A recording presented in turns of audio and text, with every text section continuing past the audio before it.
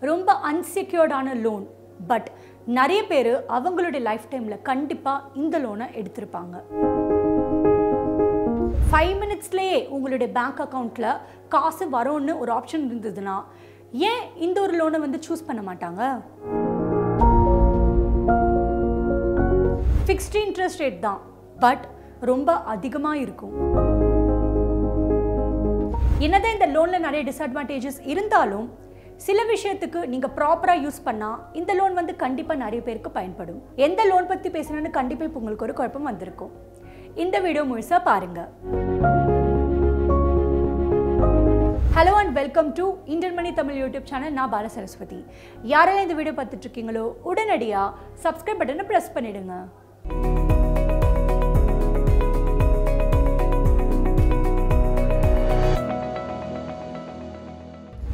வீடியோவில் நாம் வந்து பர்சனல் லோன் பற்றி பார்க்க போகிறோம் அதாவது பர்சனல் லோன்னா என்ன? யாரெல்லாம் இந்த லோனை வாங்கலாம்? யாருக்கெல்லாம் இந்த எலிஜிபிலிட்டி க்ரைட்டீரியா இருக்குது எப்படிப்பட்ட டாக்குமெண்ட்ஸில் வந்து நம்ம பேங்க்கில் சப்மிட் பண்ணலாம்? எவ்வளோ நம்மளுக்கு சேலரி இருக்கணும் இந்த லோனை வாங்குறதுக்கு? மேக்ஸிமமாக எவ்வளோ அமௌண்ட் ப்ரொவைட் பண்ணுவாங்க? ஒன்னொன்றுத்துக்கும் எவ்வளோ இன்ட்ரெஸ்ட் இருக்கும்? எவ்வளோ இஎம்ஐ பே பண்ணுறது எந்த பேங்க்ல வந்து ரொம்ப குறைவான இன்ட்ரெஸ்ட் வந்து கிடைக்கும்? பர்சனல் லோன் வாங்குறதுக்கு நீங்க என்ன பண்ணி ஆகணும்? என்னென்ன தவறான விஷயங்கள்லாம் வந்து மக்கள் பண்றாங்க இந்த லோன் மூலியமா?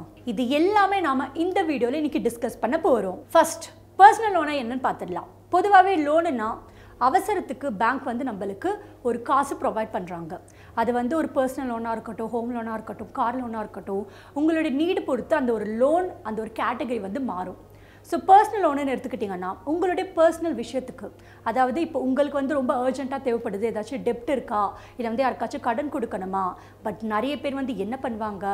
அவங்களுடைய ஒரு வாண்ட் பூர்த்தி செய்கிறதுக்கு ஏதாவது ஒரு பொருட்கள் வாங்குறதுக்கு பர்சனல் லோனாக வந்து யூஸ் பண்ணுவாங்க. ஸோ இந்த மாதிரி இந்த லோன் வாங்குறதுக்கு உங்களுக்கு வந்து பர்சனலாக எந்த விதமான ரீசன்ஸ் இருக்கலாம்? பட் நீங்கள் இந்த லோனை வந்து வாங்கிறது பெரிய விஷயம் இல்லை. பட் அதை வந்து ப்ராப்பராக நீங்கள் வந்து கட்டி முடிக்கணும். அது முடிக்கலைன்னா நிறைய பிரச்சனைகள் வந்து நீங்கள் ஃபேஸ் பண்ண வேண்டியதாக இருக்கும். பர்சனல் லோனுன்னு எடுத்துக்கிட்டோம்னா நிறைய பேர் வந்து இதோட டிஸ்அட்வான்டேஜஸ் தான் சொல்லுவாங்க ஏன்னா நிறைய பேர் இந்த ஒரு லோனை வாங்கி கட்ட முடியாமல் வந்து கட்டி நிறைய விதத்தில் வந்து எழுந்திருக்காங்க ஏன்னா ஃபர்ஸ்ட் ஆஃப் ஆல் இது வந்து ஒரு அன்செக்யூர்ட் லோன் அப்படின்னு சொல்லப்படுது.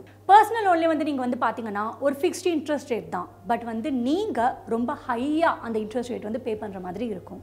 இப்படிப்பட்ட இந்த பர்சனல் லோன் வந்து நீங்கள் மேக்ஸிமமாக எவ்வளோக்கு எடுக்கலாம் மினிமமாக எவ்வளோக்கு எடுக்கலாம் அப்படின்னு கேட்டிங்கன்னா ஃபார் எக்ஸாம்பிள் இப்போ நீங்கள் வந்து ஒரு ஐம்பதாயிரம் வரைக்கும் சம்பாதிக்கிறீங்க. ஒரு ப்ராப்பரான இன்கம் வந்து உங்களுக்கு மந்த்லி மந்த்லி வந்துட்டுருக்குங்கன்னா உங்களுடைய அந்த ஒரு இன்கம்மை பொறுத்து உங்களுக்கு வந்து தேர்ட்டி டைம்ஸ்க்கு மேலே நீங்கள் வந்து லோன் பெறுவீங்க.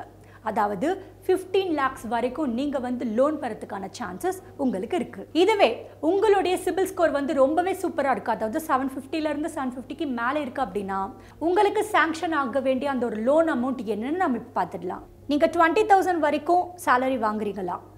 ஃபைவ் லேக் ஃபார்ட்டி தௌசண்ட் வரைக்கும் நீங்கள் வந்து லோன் அமௌண்ட் பெறலாம். இதுவே நீங்கள் தேர்ட்டி தௌசண்ட் சம்பளம் வாங்குறீங்கன்னா எயிட் லேக் டென் தௌசண்ட் வரைக்கும் நீங்கள் வந்து லோன் அமௌண்ட் பெறலாம். இதுவே நீங்கள் ஃபார்ட்டி தௌசண்ட் சம்பளம் வாங்குறீங்கன்னா டென் லேக் எயிட்டி தௌசண்ட் வரைக்கும் நீங்கள் லோன் அமௌண்ட் பெறலாம். ஐம்பதாயிரம் சம்பளம் வாங்குறீங்கன்னா தேர்ட்டீன் லேக் ஃபிஃப்டி தௌசண்ட் வரைக்கும் நீங்கள் வந்து லோன் அமௌண்ட் பெறலாம். அறுபதாயிரம் ரூபாய் சம்பளம் வாங்குறீங்கன்னா சிக்ஸ்டீன் லேக் டுவெண்ட்டி தௌசண்ட் வரைக்கும் நீங்கள் வந்து லோன் அமௌண்ட் பெறலாம். மேலும் பர்சனல் லோனோட அந்த ஒரு மினிமம் இன்ட்ரெஸ்ட் ரேட் வந்து பார்த்தீங்கன்னா நயன் பர்சன்ட்லேருந்து தான் ஆரம்பிக்குது. இதுவே நீங்கள் யோசிச்சு பாருங்கள் ஹோம் லோன் அப்படின்னா செவன் பர்சன்ட்டில் இருந்து ஆரம்பிக்கும். பட் பர்சனல் லோனுங்கிறதுனால கொஞ்சம் அதிகமாக நைன் பர்சன்டேஜில் இருந்து டுவெண்ட்டி ஃபோர் பர்சன்டேஜ் வரைக்கும் உங்களோட இன்ட்ரெஸ்ட் ரேட் வந்து மாறும். இப்போது எலிஜிபிலிட்டி என்னன்னு பார்த்துடலாம். உங்களோட ஏஜ் வந்து டுவெண்ட்டி ஒன் இயர்ஸ்லேருந்து சிக்ஸ்டி ஃபைவ் இயர்ஸ் வரைக்கும் இருக்குன்னா கண்டிப்பாக நீங்கள் வந்து பர்சனல் லோன் அப்ளை பண்ணலாம். நீங்கள் இப்போ வந்து ஒரு ஜாப் பண்ணிட்டு இருக்கீங்க வேலைக்கு போயிட்டு சம்பாதிச்சுட்டு இருக்கீங்கன்னா நீங்கள் வந்து ஃபிஃப்டி எயிட் இயர்ஸ் வரைக்கும் தான் இருக்கணும். ஸோ அது வரைக்கும் தான் வந்து உங்களுக்கு அந்த ஒரு எலிஜிபிலிட்டி க்ரைட்டேரியா இருக்குது இதுவே நீங்கள் வந்து பிஸ்னஸ் பண்ணுறீங்கன்னா சிக்ஸ்டி ஃபைவ் இயர்ஸ் இருந்தால் கூட நீங்கள் வந்து பர்சனல் லோன் அப்ளை பண்ணலாம். பட் சிக்ஸ்டி ஃபைவ் இயர்ஸ்க்கு மேலே பண்ண முடியாது. மேலும் உங்களுடைய சிபில் ஸ்கோர் வந்து செவன் ஃபிஃப்டிலேருந்து செவன் ஃபிஃப்டிக்கு மேலே இருந்ததுன்னா ரொம்ப ரொம்ப நல்லது. அப்போ தான் இன்ட்ரெஸ்ட் ரேட் வந்து ரொம்பவே கம்மியாக இருக்கும் அண்ட் உங்களுக்குமே ரொம்பவே ஈஸியாக இருக்கும். சப்போஸ் வந்து நீங்கள் இப்போ ஒரு வேலை பார்த்துட்டு இருக்கீங்க அதாவது ஜாப் போயிட்டு இருக்கீங்கன்னா மினிமமாக அந்த ஒரு பர்டிகுலர் கம்பெனியில் ஒன் இயர் வரைக்கும் உங்களுக்கு ஒரு எக்ஸ்பீரியன்ஸ் வேணும். அப்போ தான் வந்து உங்களுக்கு ஈஸியாக பர்சனல் லோன் வந்து சேங்ஷன் ஆகும். அண்ட் சில பேங்க்ஸில் வந்து பார்த்தீங்கன்னா சிக்ஸ் மந்த்ஸ்லேயே தந்துருவாங்க. அதாவது உங்களுக்கு சிக்ஸ் மந்த்ஸ் எக்ஸ்பீரியன்ஸ் இருக்குனாவே தந்துருவாங்க. பட் உங்களுக்கு வந்து மினிமமாக ஒன் இயர் இருந்தால் ரொம்பவே நல்லது.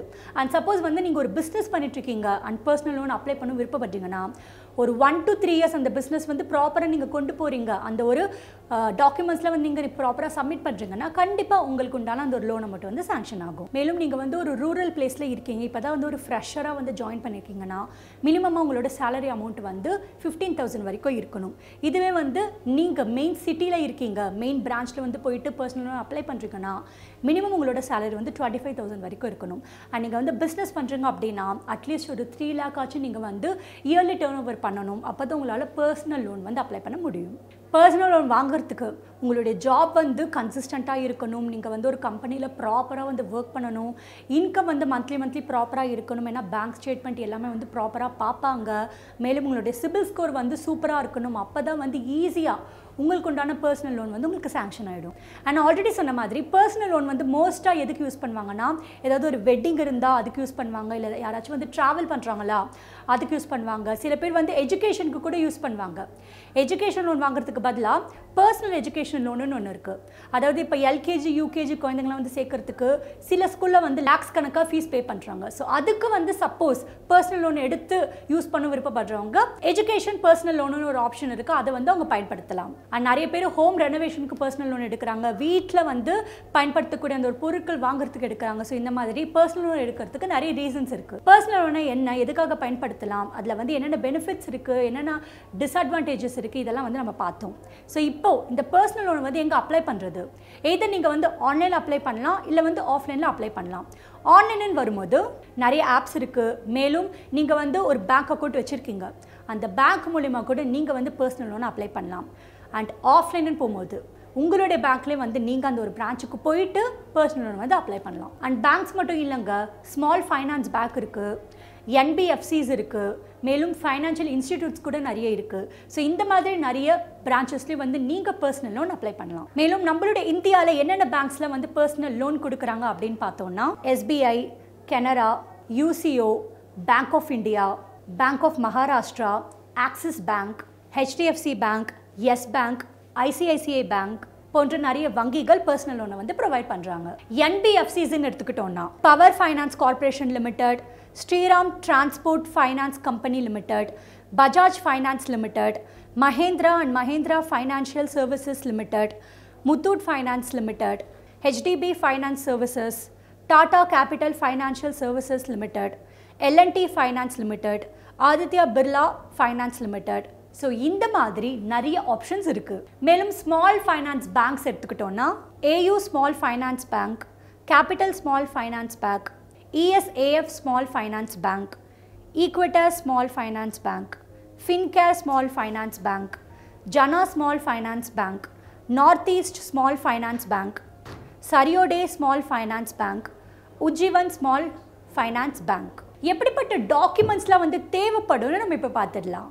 Identity proof Aadhaar card PAN card voter ID driving licence உங்களுடைய last three months salary slip மேலும் லாஸ்ட் சிக்ஸ் மந்த்ஸோட பேங்க் ஸ்டேட்மெண்ட் மற்றும் லாஸ்ட் த்ரீ இயர்ஸோட ஐடி ரிட்டர்ன்ஸ் அதாவது இப்போ வந்து நீங்கள் பிஸ்னஸ் பண்ணிட்டு இருக்கீங்க அப்படின்னா கண்டிப்பாக உங்களுக்கு வந்து அந்த ஐடி ரிட்டர்ன்ஸும் வந்து ப்ராப்பராக இருக்கணும். ஸோ அதனாலே வந்து நீங்கள் கண்டிப்பாக அதை வந்து சப்மிட் பண்ண வேண்டிய ஒரு நிலைமை வரும். பர்சனல் லோனே ரொம்ப ரொம்ப ஒரு முக்கியமான விஷயம் நீங்கள் தெரிஞ்சுக்க வேண்டியது இன்ட்ரெஸ்ட் ரேட்டு அதாவது நான் ஆல்ரெடி சொல்லியிருக்கேன் மற்ற லோனை கம்பேர் பண்ணும்போது பர்சனல் லோனு இன்ட்ரெஸ்ட் ரேட் வந்து எப்போவுமே அதிகமாக இருக்கும். மினிமமே நைன் பர்சன்ட் ஸோ வாங்க நம்மளுடைய இந்தியாவில் என்னென்ன பேங்க்ஸில் வந்து எவ்வளோ இன்ட்ரெஸ்ட் ரேட் வரைக்கும் ப்ரொவைட் பண்ணுறாங்க நம்ம ஒன்று ஒன்றா பார்த்துடலாம். IDBI bank eight point nine percent PNB nine point three five percent Indian bank nine point four percent Karur Vysya bank nine point four percentage city union bank nine point five percentage SBI nine point eight percentage central bank of India nine point eight five percentage union bank of India ten point two percentage bank of Baroda ten point seven percentage உங்களுக்கு இன்னும் வந்து அந்த ஒரு ப்ராப்பரான EMI amount எவ்வளோ வரும்? Percentage வந்து எவ்வளோ இருக்கும்னு தெரிஞ்சுக்கணுன்னா இருக்கவே இருக்கு நிறைய லோன் கால்குலேட்டர் நம்மளுடைய கூகுளில் கூகுளில் நீங்கள் பர்சனல் லோன் எலிஜிபிலிட்டி கேல்குலேட்டர்னு போட்டிங்கனாவே உங்களுக்கு வந்து நிறைய ஆப்ஷன்ஸ் வரும். நாம் எஸ்பிஐ தான் எடுத்துக்கலாம். ஸோ இங்கே வந்து பார்த்தீங்கன்னா பர்சனல் லோன் எலிஜிபிலிட்டி கேல்குலேட்டர் அதாவது உங்களுடைய PAN card mobile number net monthly income அதாவது நீங்கள் வந்து உங்கள் கைக்கு வரக்கூடிய மந்த்லி இன்கம் எவ்வளோ உங்களுடைய அட்ரஸ் வித் பின்கோட் அண்ட் நீங்கள் என்ன ஒர்க் பண்ணுறீங்க அதாவது நீங்கள் வந்து ஒரு கவர்மெண்ட் ஜாப் பண்ணுறீங்களா இல்லை வந்து ஏதாவது பார்ட்னர்ஷிப் பிஸ்னஸ் பண்ணுறீங்களா இந்த மாதிரி நீங்கள் வந்து உங்களுடைய அந்த எம்ப்ளாயர் டைப் வந்து நீங்கள் சூஸ் பண்ணணும். அண்ட் எவ்வளோ லோன் அமௌண்ட் வேணுமோ அந்த லோனை மட்டும் நீங்கள் டைப் பண்ணீங்க அப்படின்னா உங்களோட எலிஜிபிலிட்டி வந்து ஈஸியாக தெரிஞ்சிடும். ஸோ இப்போது நம்ம வந்து இஎம்ஐ கேல்குலேட்டர் எடுத்துக்கலாம். இப்போ நீங்கள் வந்து ஒரு த்ரீ லேக் வரைக்கும் லோன் எடுக்கலான்னு விருப்பப்படுறீங்க.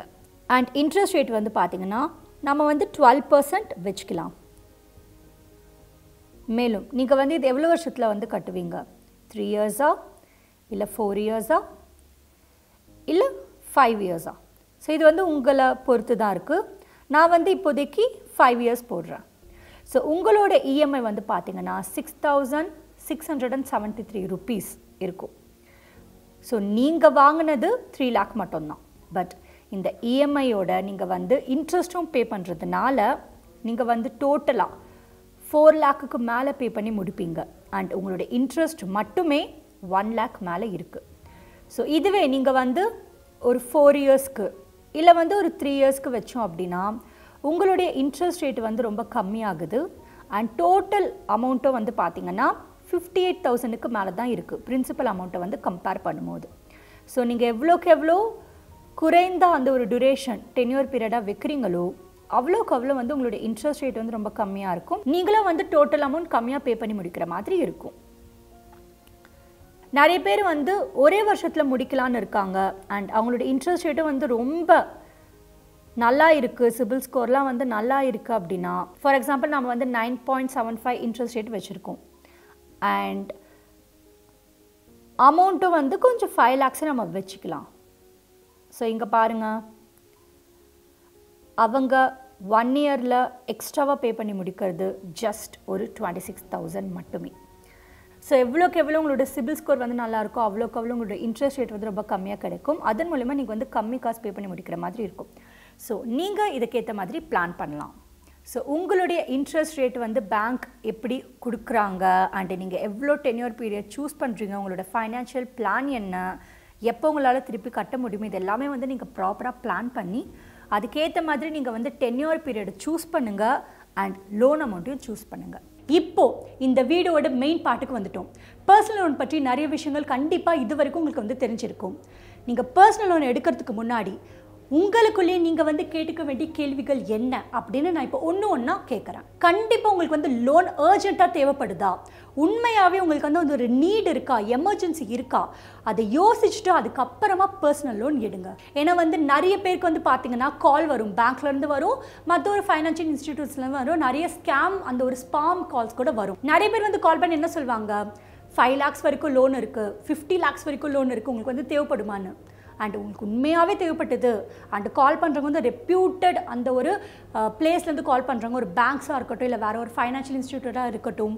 ஸோ உங்களுக்கு வந்து நீடாக இருக்குது அப்படின்னா கண்டிப்பாக நீங்கள் வந்து வாங்கலாம். பட் வாண்ட்டுக்கு இல்லை வேறு விஷயத்துக்கு வந்து தயவு செஞ்சு வாங்காதீங்க. ஏன்னா நிறைய இடத்துல நீங்கள் வந்து ஃபைனான்ஷியலாக ட்ராப் ஆகிடுவீங்க என்னதான் வந்து ஒரு ரெப்யூட்டட் பிளேஸாக இருந்தாலும் எல்லாருக்குமே வந்து பணம் சம்பாதிக்கணும்.